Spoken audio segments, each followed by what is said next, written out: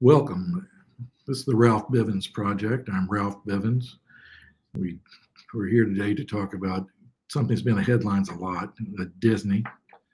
Uh, you've heard about it, read about it, and uh, it's that's that's kind of our topic today. It's going to be Disney's real estate empire, which is impressive, and it's there's a lot of lessons to be learned in, uh, about what happened here. You know, we were talking about several things that just got it started with. You know, I guess the biggest secret land assemblage ever completed in the United States or anywhere really, as conducted by Walt Disney himself. He was overseeing it. It wasn't doing deals. He's, they were keeping it secret. And they, after he built, opened the Disneyland in, in 55 in Anaheim, California, then he said, we need to have an East Coast location. So he began blocking up land and uh, 51 different uh, acquisitions. And some of this he got for $100 a foot. It's pretty amazing. And he ended up with 28,000, almost 28,000 acres, which of course is uh, it's about the size of the Woodlands Master Plan community here. If you're in Texas, you know about it. it it's pretty huge. It's a lot of land. And what they've done there since then is uh, pretty amazing. You know, they brought in, for one thing, they brought in star architects like you know, Philip Johnson and, and Michael Graves, uh, Cesar Pelli.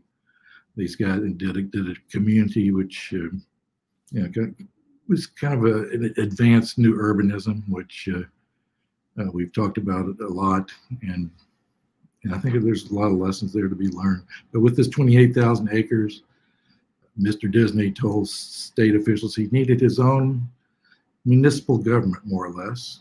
And with that, he was going to also create a futuristic city. And that was going to be part of this new futuristic city. Um, and so from there, uh, this is where we are today. So we're lucky to have Mary Shanklin, an independent journalist based in the Orlando area. She's uh, done a lot of work on real estate development, land development, residential and commercial construction. She knows a lot about the taxes there. She knows she, she knows this issue all like the back of her hand. So, Mary, thank you so much for signing on today. Always a pleasure, Ralph. I um, I appreciate the intro, and I appreciate how knowledgeable um, you are about um, you know the whole deal of the assemblage and um, you know really kind of some historic game changers that really probably did change um, you know the way that that we look at, at land development um, and you know it, it even affects how large scale developments are, are done today. It was it was you know really one of the first well, I, I, think it is um, certainly the only one in Florida, and I'm not aware of any outside of Florida where they set up their own government, um, you know, in order to handle all.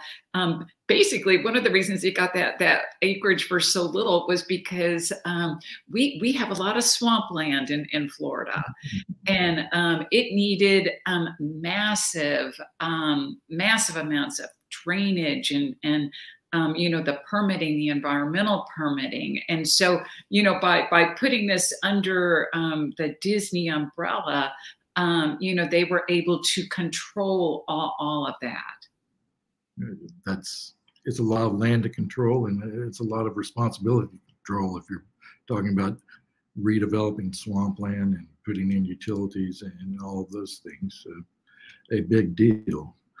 Um, right. I, I think um, you know when you, when you go back, if you were going to look at the textbook of um, you know well what what we learned and how it affects um, you know how we look at development today um, you know like the the later version of that um, you know you, you don't you don't see companies you don't see you know the amazons and the googles um, you know, or, or any of your, your oil companies um, being able to create their own governments and, and collect their own taxes.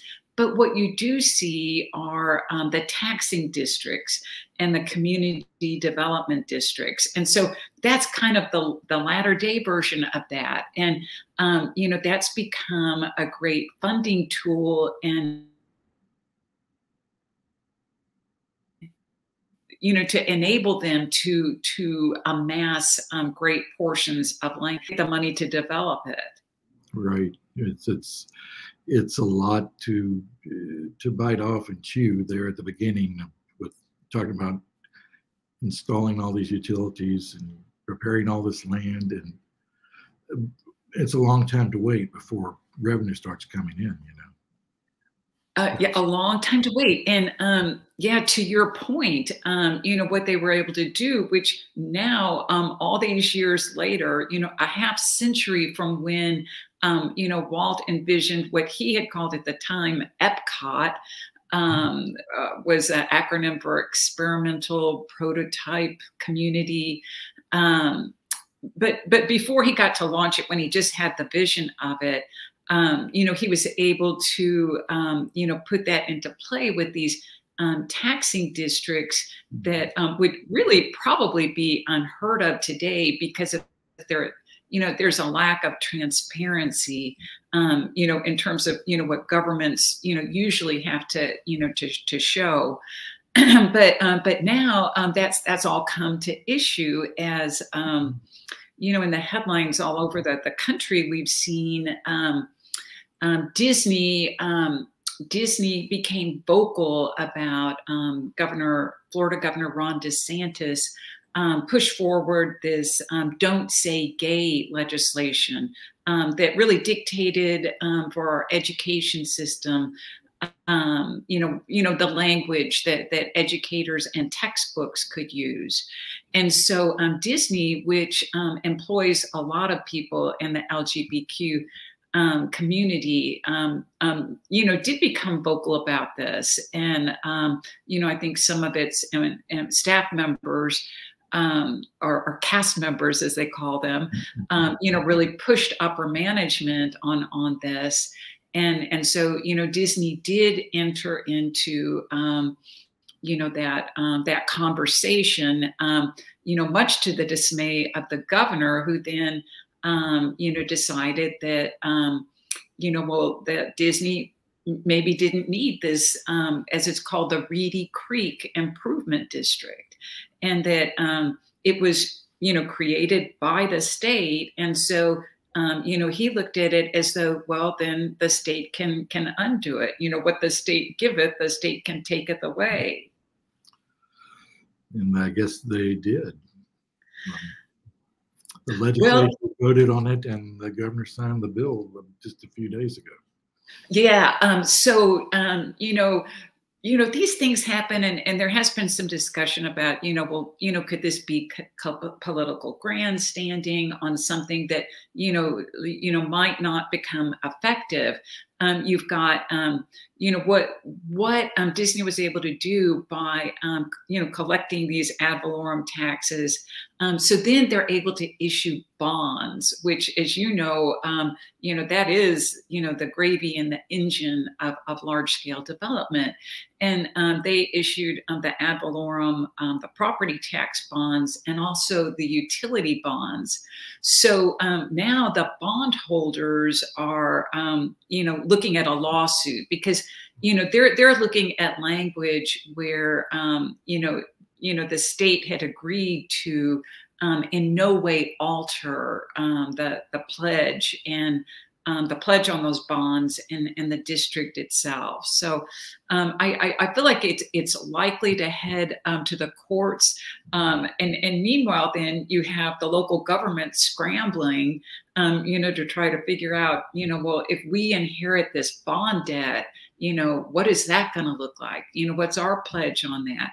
Um, already, you may have seen Fitch downgraded the the bond ratings you know, that Disney held on that. So, um, you know, that that in itself, it could be a, a legal cause for, for the bondholders. It's got to be, it's got, you're right though. How can this happen without several lawsuits. so many people have money tied up, bondholders and everybody else. Uh, that's uh, really pull the rug out from under everything, Guess. Under everything. Um, you know, um, I think that one of the, um, everybody kind of thinks, many, so many people think of you know, the theme parks and all, but as you well know, because um, you were there really kind of at the formation of it, you know, part of that initial 28,000 acres was um, this this celebration development, mm-hmm. and um, that ended up. So that's not affected by this because um, Disney then backed that out of the Reedy Creek Improvement District, in part because um, if you're if you're a landholder in that district, then you get a vote. You know, and, and you could you could do things like vote to dismantle it or whatever. So in order to um, retain control, um, you know, they they they carved out that property for celebration, which you know became many stories in, in and of itself. Yeah, it, it was a springboard, you know, for for in a lot of ways this the awareness of new urbanism and what it stood for and what the principles were. And um, can can you tell us a little bit about new urbanism? Yeah, you know, um, I agree with you that it was um, not the front runner, but I think that it was um, it was probably like the most high profile front, front runner. And um, it was actually um, Peter Calthorpe um, was the one who um, helped, you know, he helped um, create that initial design mm-hmm. um, and, and did the planning for that. And, and so in order to do this, this was during the era when um, Disney was headed by, I think he was a household name at the time, Michael Eisner and um, this was going to be kind of his his signature project and so um, residentially um, he went to um, he sent people to like coastal towns along the atlantic um, to northeastern towns. They would do things like measure the distance from the sidewalk to the front porch you know from the little picket fence out front um, you know to the front door. And um, you know then they put together like a pretty extensive playbook on this um, you know, as, as it's been, you know, called now, um, new urbanist, um, new urbanist design, you know, which really reflects on, um, you know, more historic, um, um, more historic um, styles of housing architecture. And I, I, think that they've got about a half dozen different um, styles and designs. But um, it is interesting that, you know, with the, the, Disney, not only did they, you know, really kind of set the course, you know, by doing, you know, this, you know, their own government, their own tax, um, figuring out a way to, you know, get the bonds and, and get the bond pledges, you know, but then they also figured out, you know, well, how we could make this signature community, which, you know, as you noted on your intro, um, beyond the residential piece, Michael Eisner came in with, um, you know, these really boutique brand name architects. And, and so what happened, um, they, they put celebration on, um, it is, it is probably one of the tackiest sections of, of road the United States, um, US 192. And it was back at the day when, um, you know, families would like, you know, travel and, you know, it's filled with all these cheap hotels, some of which, you know, kind of like, you know, now house people coming out of, of homelessness and, and what have you. And so that that is the front door of celebration. And I think that Eisner realized by by bringing in these, you know, renowned internationally renowned architects that, that you could get away with you know like this this signature community you know on a piece of property that's you know got some pretty marginal neighbors to say the mm-hmm. least yeah. Uh, I, I, remember being on a tour there and you know I, you were probably there too a bunch of us uh, toured it it was new you know it was very new and uh, but I think it turned out to be a, major success. It won a major Urban Land Institute award, uh, got a lot of publicity, and um, you know, yeah. I, th- I, I think you're right about you know maybe it had uh, you know Calthorpe got got a lot of notice for it, but um, it really put having Disney do it, it put it on the map and just popularized the the concepts there to know broad extent. Yeah. Was negligent in mentioning um, Robert A.M. Stern was, um, you know, pretty central to that. But you know what's interesting, Ralph? Um, do you remember on the tour? Um, then, um, you know, there on the waterfront, um, there is Cesar Pelli did this retro-looking theater, and so just as an anecdote to to how it's fared like the residential in there, particularly the single family, it's outperformed um, single family in, in the overall metro area. But um, that that real estate, the commercial piece, not as much, you know, and it, it's based on that model where instead of putting like your main street where all the traffic goes by on that really tacky strip of, of 192, you know, you put it where it's just walkable to that interior community. And, you know, I've seen it in other examples, and it has happened here where, um, you know, not all that retail has has done well. The mm-hmm. Cesar Pelli um, Theater um, it it was closed. It may still be closed for like a decade, which you know really um, you know is a function of a lot of movie theaters. But um, you know it's it's just so so well done, and other stores have kind of come and, and gone in there. So you know, it, it also, I think when you look at like, you know, textbook examples of, of what Disney has done there, um, they're popping out another um, major development in California. I think it's called Story Living. And, and it's going to be interesting to see you know, if they follow, you know, that same concept where, you know, you put your retail instead of, you know, like on the busy corridor streets on the boundaries, you know, you tuck it on the inside just for the residents.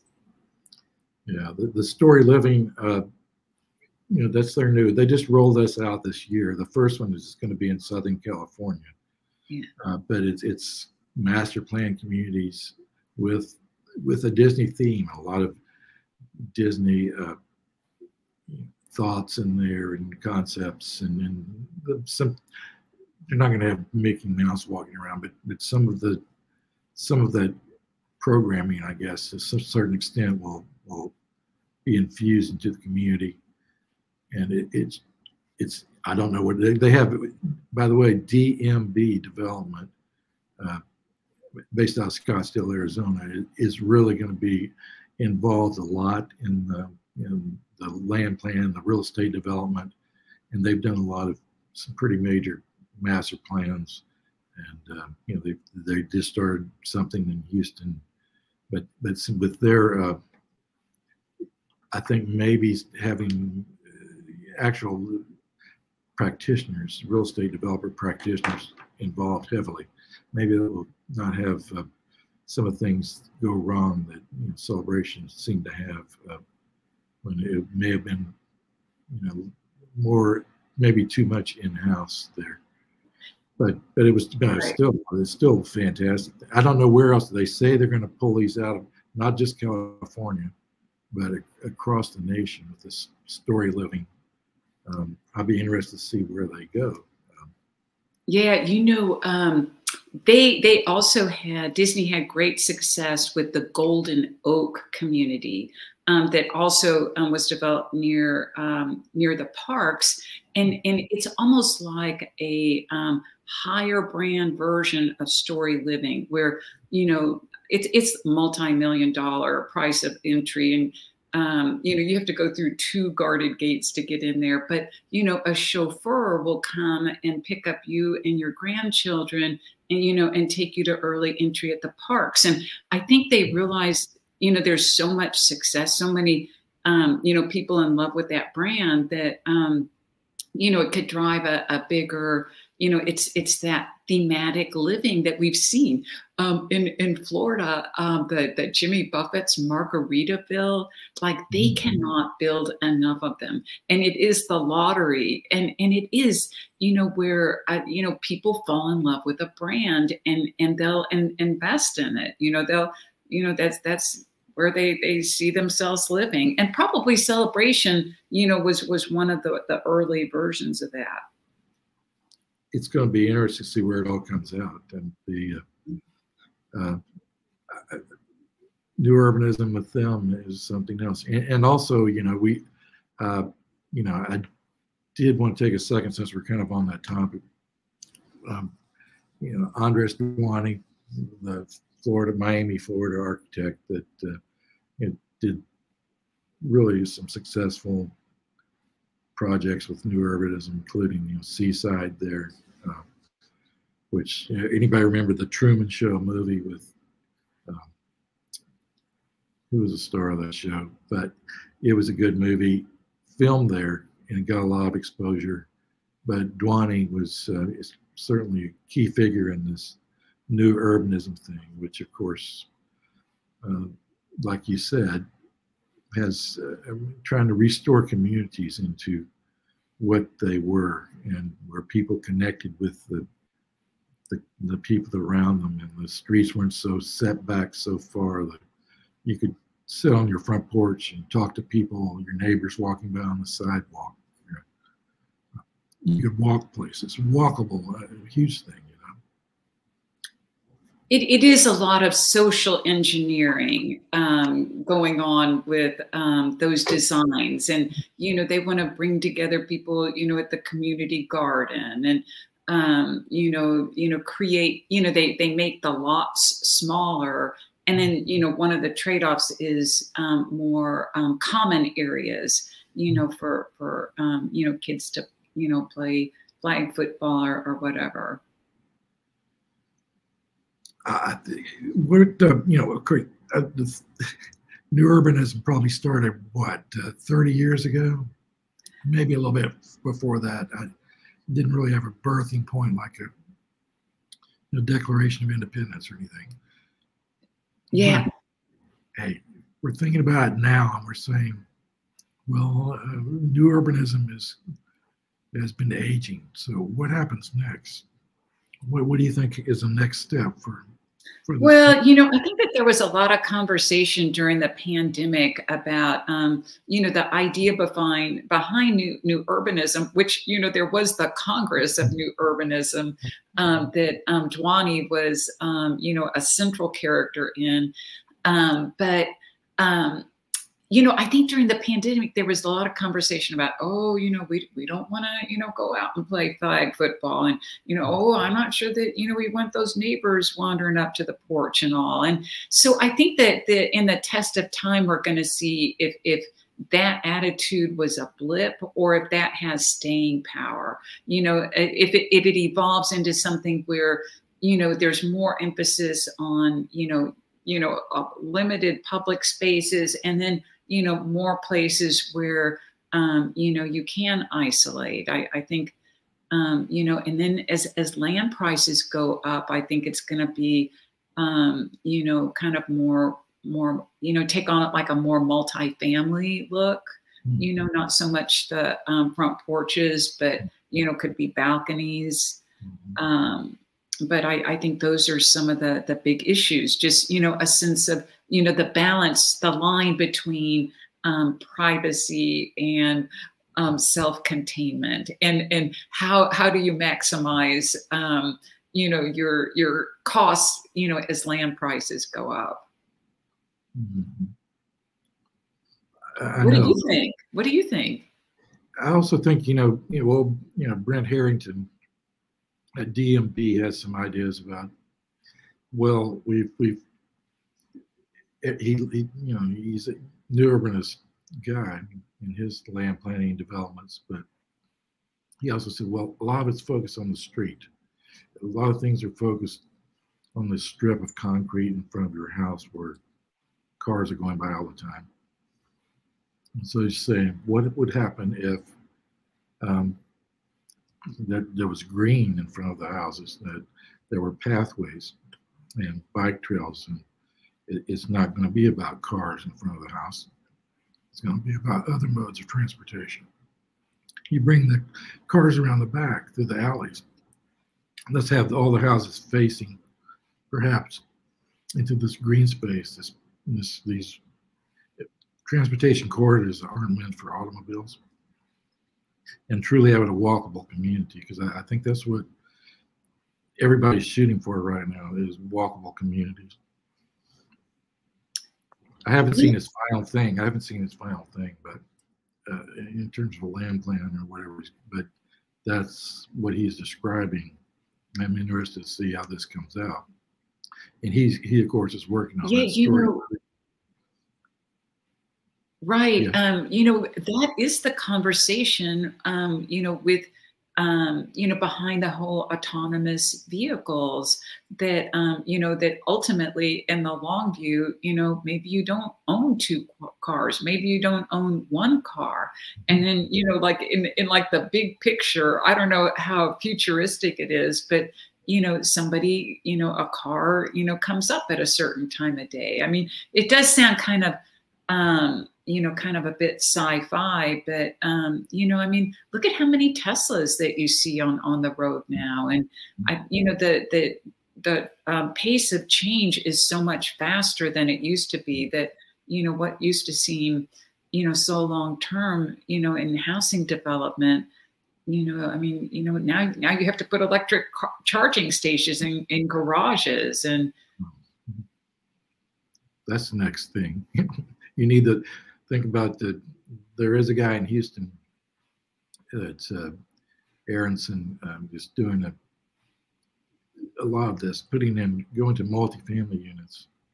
So we can put in chargers. Your your your residents in the multifamily projects are going to want to be able to charge their cars overnight, and we can do that for you. And that that seems like there's tremendous amount of growth potential on that score the man, you talk about got 300 units right there, and uh, who knows? But in 10 years, the percentage of you know, electric vehicles is going to be huge. Yeah, it's definitely going to change the dynamic of, um, you know, multifamily and um, single family. You know, what's, you know, you know the the shape of garages and, um, you know, if, if you know, people are buying their 80,000 Tesla, you know, you know, well, you know, do you have, you know, three car garages anymore? You know, that that's kind of where it is right now, but, but maybe, you know, it's kind of becomes a boomerang. Our lessons, uh, you know, when we're looking back, uh, this is a hard question uh, that we're thinking about.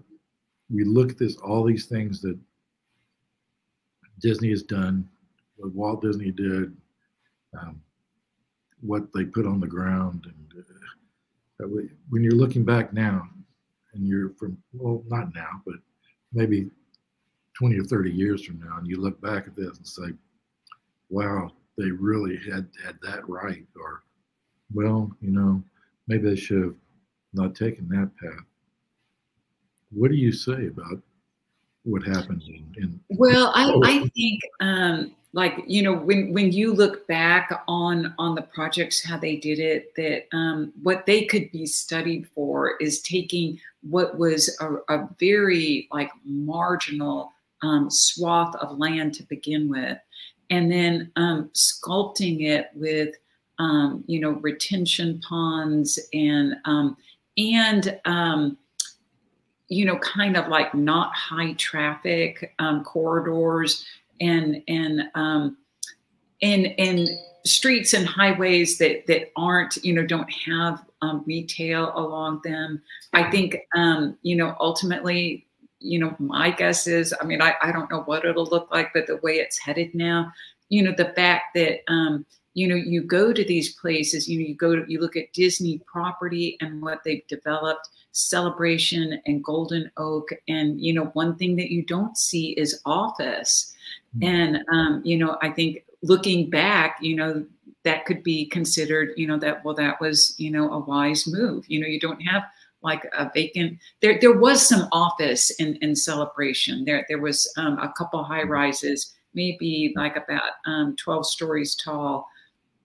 But you know, Disney can can largely fill those. But I, I do think you know, looking back right now, we have learned so much from the pandemic, and I'm sure you've had shows on this that, um, you know, office, um, you know, the retailers have kind of figured out, you know, oh, if I'm going to get shoppers in here, you know, I got to tart up this place, you know, I got to, you know, make it an interesting place. But I think ultimately, um, when when you look back on what Disney has done, you know, lot of this is probably going to you know be applauded. That that's one thing. Um, you know reshaping um, a swamp into um, you know a very livable area um, that's going to be a, another plus. Um, you know the taxing districts um, i don't i don't think that they really got that right. I mean I, I feel like we can look at that now and see that you know that's become a political bone of contention um, so, you know, if I had to pick like a couple of, you know, things maybe that they got right and maybe they didn't, that that's that's what I would pick. Right. Yeah. The taxing district sure uh, became controversial and maybe they were given too much authority. Uh, but on the other hand, uh, at least they got Disney there. Um, when you're, if you're thinking about it from an economic development standpoint, they, Disney came and there was swamp, and I don't know what the population was of Orlando at that time, but a major explosion of growth. And now it's just everything. It's not just people come for vacation; it's conventions and hotel. Just it's tremendous and right. sales. It's amazing. Yeah, you know, I, I I feel like also like just in terms of site selection, um, you know, the the lessons there, you know, at that time it was like, oh, you know, you've got to be on the coast. Oh, you've got to be proximate to the beach. And mm-hmm. now, you know, well, I mean, quite honestly, the the the Atlantic Ocean is is rising and um, you know, the coastal properties, um, the insurance is insane. And um, you know, by by really like separating themselves from you know the the um, conventional wisdom of the day be near the coast. You know they figured out you know by having our own government by controlling everything so that we can you know make the swamp look like a beautiful place um, you know they made a huge play. And and and people responded. You know another example of that is um, like just a little bit north of there is the villages which is it's the number one master plan community in the united states every single year year in year out. It is as robust now as it ever was. And it's a similar thing where instead of going to the coast where you would have thought that it was happening you know they were able to like recreate. So i feel like it's a story of, of site selection and and kind of going off the page a little bit. Mm-hmm. That's a great point. And of course, you know, sea level rise keeps happening. Orlando could be a coastal city before we know it. but but they but you're really right. I mean, when you're thinking about when Disney's flying over, and I know he was flying over a lot of land with these people, and they said, "Well, I want to be near you know, some major freeways," and um, a lot of road access, significant road access. But it, but Orlando is not. You know, it, it gets pretty hot there in August. You know, it's just not the garden spot that Southern California is pretty nice weather. Most of the time, you have some fires, but you know, it's not uh, temperature-wise. It doesn't get as radical as um, some of the Sunbelt cities over here. And you're thinking, wow, that that actually worked. And we're thinking, yeah, like, you know, um, interesting to your point, uh, Ralph. Um, there just had been like a few months ago. Um, Disney had announced that it was going to be moving um, major chunks of its corporate headquarters from Anaheim, you know, kind of like, you know, you know a, a, nicer, more temperate area than like our, our humid humid um, summer place here to the mm-hmm. Orlando area.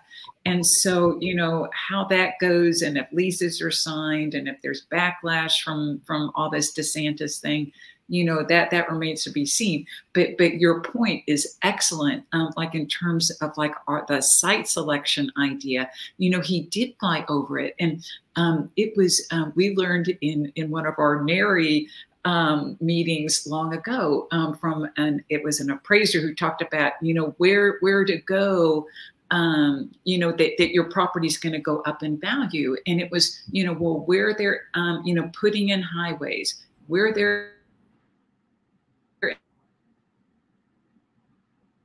you know where that you know that that's you know that's really the, the place to look well yeah i mean there was was there Air Force Base uh, around this uh, at one time? Okay, or so um, okay, the oddest thing of all, and this will tell you the power of, of politics. Um, so in the in the Orlando area, um, which is landlocked, um, somehow um, a, a, congressman with a lot of sway a long time ago was able to get a Navy base put in. Uh, you know, really, it would be like putting a Navy base in the middle of Texas. let's put one in a, outside of Omaha or something. Exactly. And so, um, just to go full circle with it, um, well, ultimately, another congressman, you know, you know, I think it was, you know, a, an entire administration said, you know, we need to do some base closings. So, so guess what came up, you know, up on the, the high up on the list? It was the landlocked one in Orlando, and and so then um, the the mayoral administration had decided, well, instead of trying to do like some Central Park thing, um, we're going to let the Pritzker family in um, Chicago um, develop this um, in a new urbanist style. Mm-hmm. And um, so uh, that became um, Baldwin Park and, oh. and fell on um, some of the, the similar patterns as celebration, which like the, the main shopping corridor, it wasn't on the periphery and, and it struggled for a long time. Like that, the, the best retail location, floor to ceiling, glass looking in, you know, just, just crying out, you know, for customers and all you know, they would turn that into like a gymnastic studio, which could be in an industrial area, you know, just just to get, you know, something going in there. And and it, it's kind of evolved a little bit more, but um, I think, you know, Disney's celebration also, you know, kind of affected this this whole region. And I'm sure you probably have new urbanist communities in um, the Houston area. We do some, you know, and parts of it. You know, they uh, will you know, borrow certain things here, borrow some things there, and I think everybody, though, I, the one thing that seems to really resonate coming out of new urbanism has been this walkable. Everybody wants a walkable project. They want, um, and I think that's going to grow as people are more concerned about um, you know, health and being able to walk places, being able to conserve energy, uh, just the uh, just the green lifestyle of being able to walk to a grocery store, get your stuff, and you know, come back home without too much trouble. Uh, that's I, I, think that whole deal is going to it's going to it's a part of us now, and it's going to be more so. And, and I the movement to the suburbs. That's been the, the far suburbs. That's been uh, quite an idea that's changed during the during the pandemic. We've had a lot more land sales to like subdivision developers and master plan community developers way way out on the edge of town and because people for one thing they said well i don't have to go into work every day i can work from home and the whole work from home thing uh, has, has changed a lot of the land planning and the ideas people have for new residential communities. Even if they're not going to, okay, well, now maybe, you know, COVID's has died down mostly, but so, but you're still going to, don't have to come to work five days a week. And so the commuter out there, you know, 50 miles from downtown or from where their office is, they, they think, well, you know, if I only have to drive in to work two or three days a week, then I'll go ahead and I'll move way out and, and I can find affordable housing that's uh, you know built on land that doesn't cost so much. And, um, so I think that has changed a lot of ideas about location. But you know, then of course, five dollar gasoline is or four dollar gasoline, whatever we're paying right now, has changed the the picture too. So. I, I, know, you know, the other thing that did is, um, you know, you mentioned like walkability to the grocery store and all, but, um, you know, well, you know, my parents get their groceries delivered. There we go. Yeah. That's a huge thing. You know, the whole upheaval in, yeah, that, um, you know, all of a sudden then the suburbs, you know, well, you're not so far away. You can get, you know, everything brought to your doorstep and, you know, save you, you time and money. And, you know, I don't know the I don't know the transportation system in Houston, but I'll tell you, in the Orlando area, the only way that they expand the road network is with tolls. And so then on top of gasoline prices, you know, the you know people you know are taking on like these expensive toll prices, and so um, you know, it, it is, um, you know, it is an offset to be able to save money, you know, and, and move further out. I, your heart breaks for like this generation of, of new buyers coming in where, you know, the wages just um, haven't risen like, like the home prices have. And, you know, mm-hmm. to me, that's going to, you know, have to be some creative solutions too um, you know, whether it's new urbanism, you know, giving up a car payment or, or what it is. Well, it's amazing. It's, it's amazing the way it changed Florida, and um, I don't think Disney is going to pack up and move. Yeah. Where, where they come through with the uh, moving people from the Anaheim offices, uh, that that deal might get delayed, but um, but it, it's going to be there for a while and it's changed a lot of things and, and a lot of people just don't think outside the box that much we like hey we're going to a swamp and i don't know if mr disney had it really understood the amount of change that this was going to happen that it was going to just build a tourism industry and change the city um, to this extent, this fast. You know, it was not long. Um, so I think areas that are, you know, cities that are down, maybe they say, well, we don't have anything. You know, we, we don't have anything you know, beautiful around here. We don't have an ocean. We don't have mountains. Um, so why would anybody come here for a vacation? Uh, why, why could how could we ever have any tourism industry? How how would you ever do vacation sales here? But Orlando did it. Orlando did it, and now it's a great place to go. I always enjoy going there. I go there for the conventions, and uh, all the time. Yeah, I, I think that um, you've seen um, firsthand also how um, it can be like a victim of its own success, where, um, you know, like I think it is now um, the largest um, convention center in the United States. And man, like the road network really doesn't, you know, hasn't responded to that. And, and that's created a lot of issues. And we're late on the commuter rail. Um, but um, I will say, you know, that transit oriented development. Um, you know, Disney had, you know, kind of resisted that, you know, being connected to anything that could take their customers away. But now we have um, um, the Brightline coming in from um, Miami to Orlando, and, and Disney's going to be a stop there.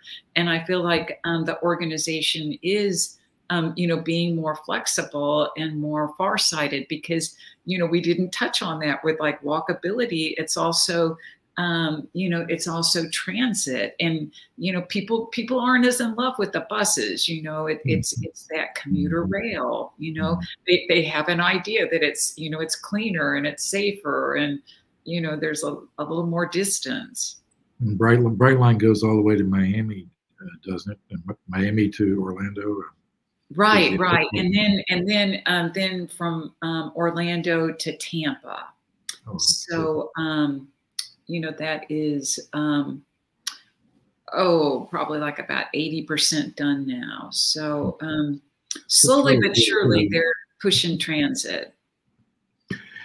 They could do a lot with uh, you know uh, Elon Musk, one of his companies, uh, the Boring Company has built a um, a tunnel, you know, a transportation tunnel connecting the convention center in Las Vegas uh, down to the Strip and, and stuff. Um, I've seen it. I haven't been in it yet, but, but you would think that some kind of transportation system around the the massive convention center um, in Orlando would be a, a, good thing to have. We've got yeah, you know, um, it actually was Richard Branson, um, you know, um, you know, Sir Richard Branson, who he he bankrolled the Brightline um, because the state, you know, couldn't really get it together to to do anything like that.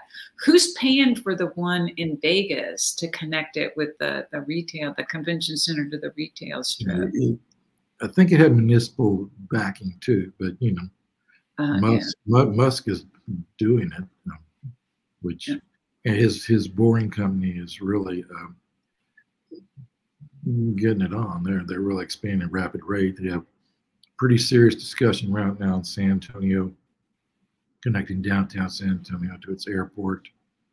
They have had pretty serious discussions in Fort Lauderdale, and I think there's something in some smaller version, suburban Austin, on a community called Kyle K Y L E, uh, that mm-hmm and he's moved his you know headquarters from of the boring company to Pflugerville, which is a suburb of Austin. It, Tesla's now in Austin, and we're. I mean, the governor of Texas has been tweeting in recent days saying, "Hey, why, why don't you move the the headquarters of Twitter to Austin too?" Oh my God! like, so I mean, getting no matter what you think of Elon Musk, he he's a creative guy that is like having your own one man economic development corporation. You know, he's bringing in so many companies and everything. But but the uh, and of course, but Tesla's the big one. They got a big factory there, and that's the faster they crank out those cars, they they're selling fast. They have a huge market share. yeah, it's, it's a company to watch. I, I will say, um, you know, Austin has that beautifully diverse um, economy, um, but um, man, it's another victim of its own success because it just simply does not have the transportation network mm-hmm. um, to to move people. It's um, you know, it's just it's just exploded faster than than the government can possibly keep up with. They they didn't prepare enough with um, transportation infrastructure. Just, I think they don't have a, a, a really good loop. You know, freeways aren't there. Mm-hmm.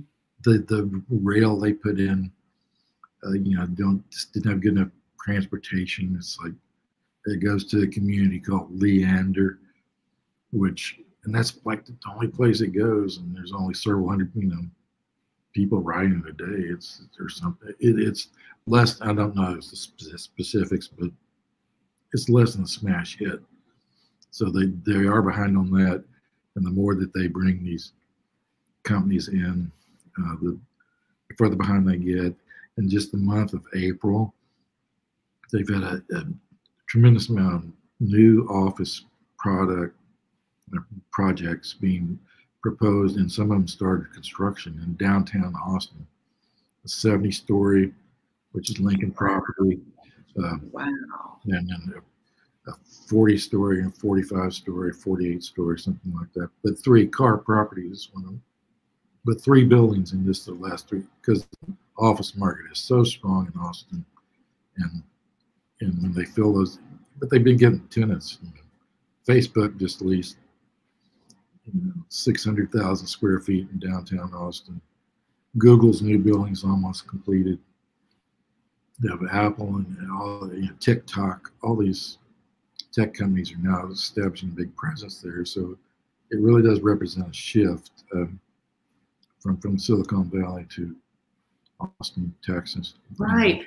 Are they doling out um, economic incentives? Because um, man, across the country, like all these, you know, you know, little or mid-sized towns would love to have any any of them and and they mm-hmm. throw out the dollars. Remember when Amazon was looking for its headquarters too, which kind of became a little bit of a joke, and and everybody wanted to be a player there. Mm-hmm. But but I, am just wondering if it, I can't imagine that Austin is doing a lot of incentives, you know, mm-hmm. with with so much growth, you know, just knocking at its door. You know, I, I think the Tesla plant may have did get some. The Tesla plant and it and the Samsung, they Samsung's building a 17 billion dollar chip manufacturing plant. Um, so some of those big manufacturing plants have uh, definitely gotten help from the government. I don't know about the office space. There may be something, but I not I haven't seen a lot of that. I think it's more the manufacturing, but it's worked, and they're they're scoring the big companies and they have the workforce there supported. You know, the tech workforce that, right. you know, I'm going to leave my job at Facebook and go work at Apple just down the road. You know, so. I know people in Austin complain about uh, expensive it is to buy, but boy, everybody pouring in there from Silicon Valley is saying, "What a deal!" Uh, yeah, they do, and you know, thirty percent, what year over year, thirty percent increase in in housing prices in Austin. And you that's know, where we're at. We're we're at twenty nine percent. Yeah, it we'll just see how, long, we'll see how long all this lasts. And we'll yeah, see what I, I don't see it sustaining. Yeah. Yeah, can it live? But but we'll also be watching for um, uh, Disney. Um, I guess that that's that's what we started off at, and um, we'll see how this controversy how it ends and what happens between now and then. But it's um, interesting to watch, and um, so I'm really so glad you you could find time to uh, talk with me today and everything. Always a pleasure, Ralph. Always. Hey, you, you're great. You know everything over there, so we'll maybe we'll have you can come back someday when we uh, we have some more big Orlando Disney questions. Uh, okay. I'm, I'm up for it. Okay. Thank you, Mary Shanklin. And Uh, we will talk to you again soon, I hope. Sounds good. Take care. Bye bye.